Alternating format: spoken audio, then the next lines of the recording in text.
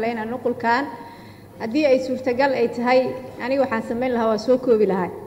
Sagaal beej waaye.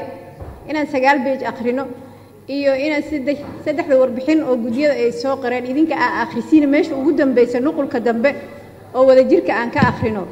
Sidii inoo habboonaan samayn lahaa.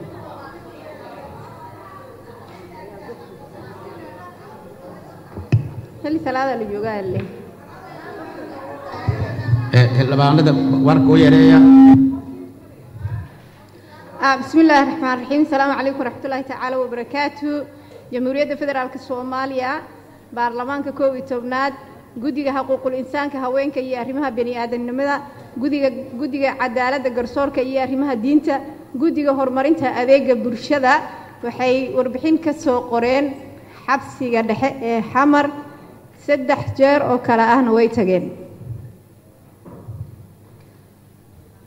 ujeeddada warbixin wadajir ah oo ku saabsan xaaladda xabsiga dhexe ee xamar mudane guddoomiye mudanayaal iyo marwooyin xildhibaanada sharafta leh. Waxaan idinku salaamaynaa salaanta islaamka mar labaad asalaamu calaykum waraxmatullaahi tacaala wabarakaatu annagoo ah guddiyada mise guddoomiyeyaasha guddiyada xuquuqul insaanka guddiga garsoorka iyo guddiga horumarinta adeega bulshada waxaan rabnaa inaan halkan idinkagu soo gudbinno warbixin ay si wadajir ah u soo diyaariyeen ooga soo diyaariyeen xabsiga dhexe ee xamar guddiyada kale ah guddiga cadaaladda guddiga xuquuqul insaanka guddiga adeega bulshada. Guddiyada kala duwan waxay xabsiga dhexe ee xamar booqdeen taariikho kala duwan sida ay ugu kuurogalaan waxna uga soo qoraan ogaadaan xaaladda dhabta ah ee ka jirto xabsiga dhexe. Warbixinta warbixintu waxay u kala qoran tahay si gooni gooni ah maadaama wakhtiga kala duwan wakhtiyo kala duwan guddiyadu ay u kala tageen xabsiga iyo warbixin guud ee guddiyada isku dhaf ah ay ka soo diyaariyeen. Warbixinta guddiga cadaaladda garsoorka iyo arrimaha diinta guddiga cadaaladda guddiga garsoorka cadaaladda iyo arrimaha diinta ee baarlamaanka jamhuuriyadda federaalk soomaaliya wuxuu kormeer xabsi wuxuu kormeeray xabsiga dhexe ee xamar maalin talaado ah ay taariikhdu ku beegan tahay toban iyo afartii februari laba kun labaatan iyo labadii waxayna halkaasi kula kulmeen warbixin kaga dhegaysteen kusimaha taliyaha ciidanka asluubta soomaaliyeed ahna tali ku-xigeenka labaad ee sareeyo guud cilmi waasuge colaad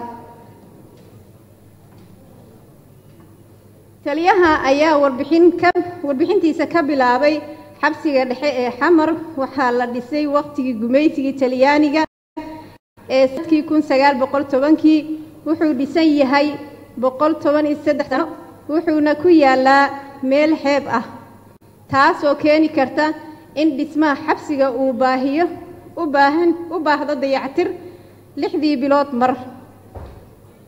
Waxau noo sheegay madaxa ciidanka asluubta in maamulka xabsiga uu ah in maamulka xabsiga in aan muddo afar sano ah wax dayactir ah lagu sameynin.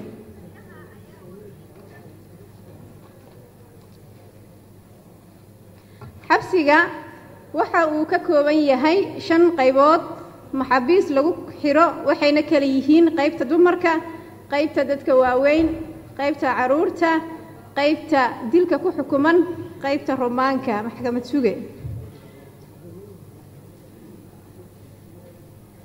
Tirada maxaabiista xabsiga waa sida soo socoto. Tirada maxaabiista ku xidhan xabsiga dhexe ee xamar xilligii kormeerka guddiga cadaaladda uu sameynayay wuxuu ahaa kun laba boqol afartan iyo lix maxaabuus. Tirada carruurta ka yar labaatan sano ee ku xidhan xabsiga dhexe ee xamar xabsiga dhexe ee xamar waxay ahayd afartan iyo sagaal tirada dumarka waxay ahayd labaatan iyo siddeed maxabuus oo ay ka mid tahay ex xildhibaanad muna ibraahim abuukar. Waxaa ku jirto xildhibaanad wasiir soo noqotay dhowr jeer laba jeer xildhibaan ahayd xildhibaan muna oo ku xidhan muddo laba sano iyo wax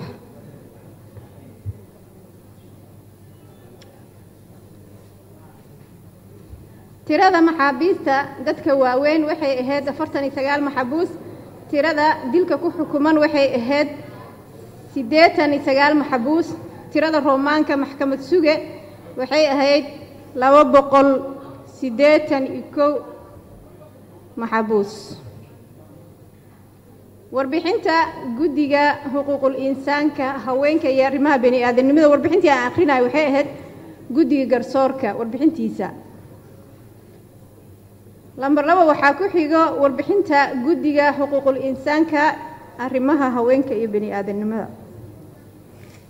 guddiga xuquuqul insaanka haweenka arrimaha bani aadamnimada ee golaha shacabka jamhuuriyadda federaalk soomaaliya ayaa labaatan iyo labadii bishii shanaad laba kun labaatan iyo saddexdii kormeer shaqo ku tegay xabsiga dhexe ee xamar iyadoo ujeeddada kormeerka uu ahaa in ay qiimeyn ku sameeyeen xaaladda bini aadamnimo iyo in lagu xadgudbayo xuquuqda aas-aasiga ah sida helitaanka daryeel caafimaad jiif fiican iyo cuno wanaagsan.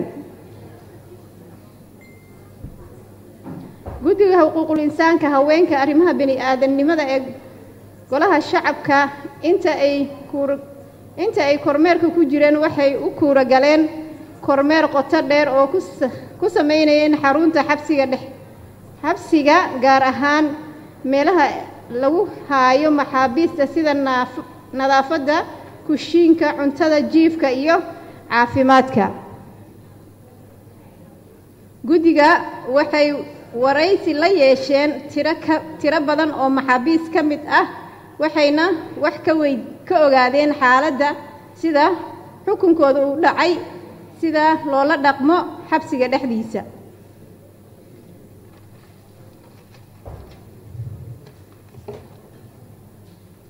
guddiga intuu kormeerka ku jiray wuxuu baaritaan ku sameeyey qaar ka mid ah qolalka iyo diiwaanka rasmiga ah ee maxaabiista iyo habraacyada la xidhiidha sida loola dhaqmo maxaabiista.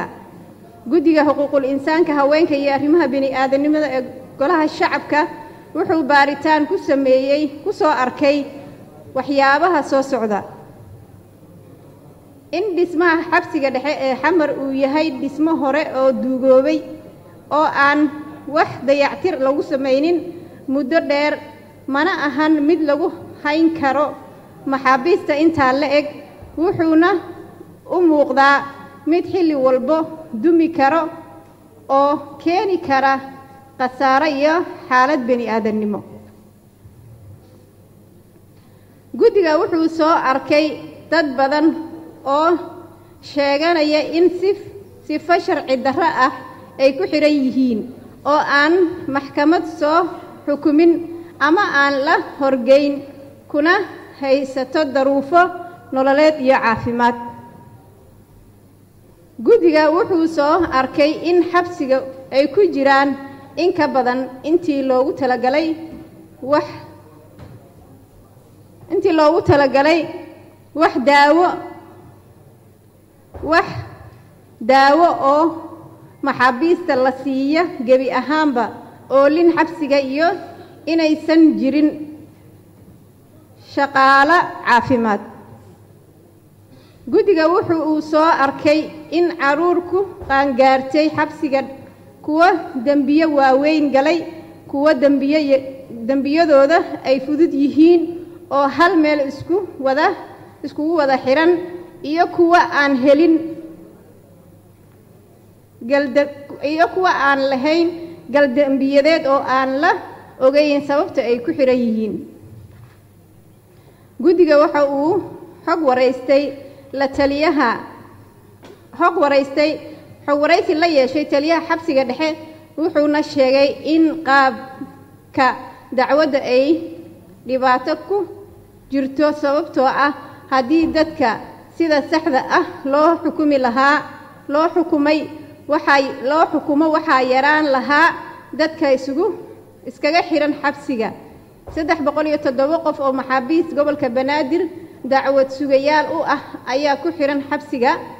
Qaar diyo bixiyey oo haddana weli iskaga xidhan waxaa jiro nin ku nin ku xirnaa xabsiga oo diyadii loo haystay bixiyey kuna dhintay xabsiga dhexdiisa.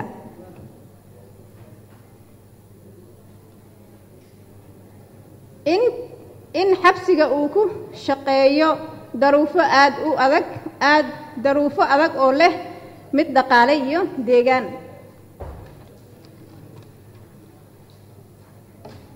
Xabsiga waxaa ku jiro maxaabiis gaaraysa xilliga guddiga oo xuquuqul insaanku ah xabsiga waxaa ku jiro maxaabiis gaarayso kun saddex boqol labaatan iyo kow oo ka soo kala jeedo dhammaan gobollada kala duwan ee dalka oo ay isugu jiraan kuwa sugaya kuwa sugaya maxkamad iyo kuwa lagu xukumay xukumo kala duwan.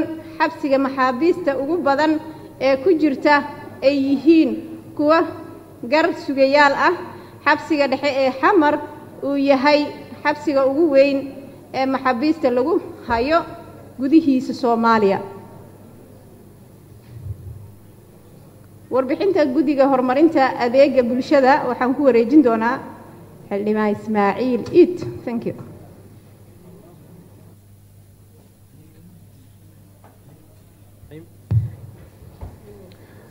Mahadsanid guddoomiye xildhibaanada sharafta le aad u mahadsan tihiin